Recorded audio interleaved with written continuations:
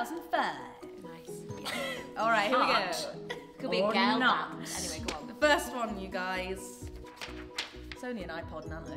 Ooh. iPod Nano. Don't know? I, I think that's pretty hot. I think that's uh, pretty hot. Definitely. Hot. Why would yeah. it not be? Retro. Spicy. Mm.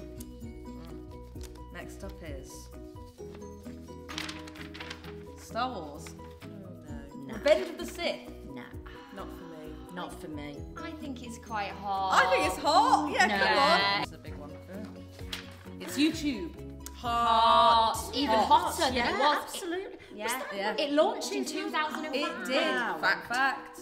All right. The Rachel cut. Oh. Oh, hot. Oh, yeah, everybody had Hot. that, didn't Anything they? Jennifer Aniston does. I mean, she's just hot.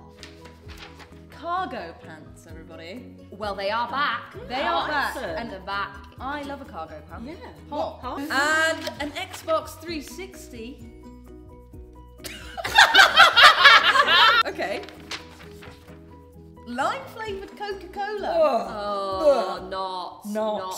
No, No. that's weird. Don't mess with. Don't mess with the Don't Coke. mess No. with it.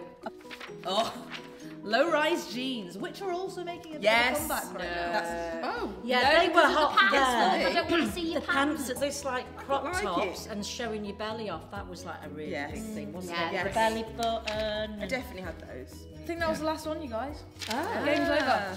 That was da da da da da da da. Hot or not? 2005.